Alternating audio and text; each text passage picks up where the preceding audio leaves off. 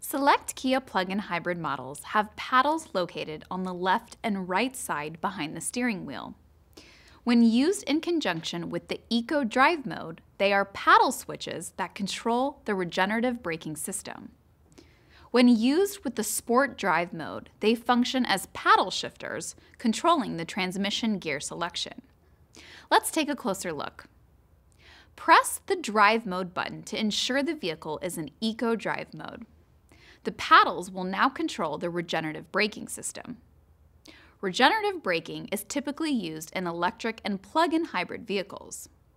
During deceleration and braking, the vehicle's electric motor generates magnetic resistance, providing energy that can be stored in the high voltage battery. This can help extend the overall driving range. Regenerative braking is not like conventional braking. It does not apply the vehicle's brake system. Regenerative braking begins when you take your foot off the accelerator.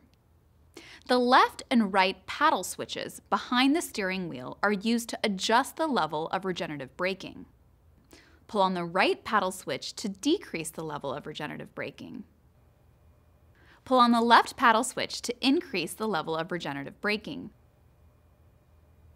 If you pull and hold the left paddle switch, you will reach the maximum level of regenerative braking.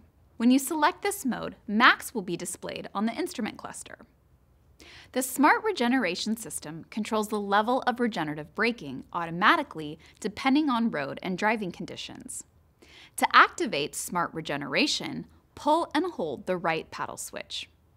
Auto will appear above the regenerative braking level icon on the instrument cluster. When this setting is active, smart regenerative braking will remain enabled with each power cycle.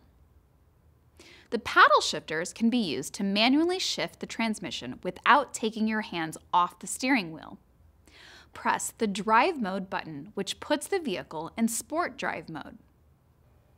Now, when you pull the right side plus paddle, the transmission will shift up to a higher gear.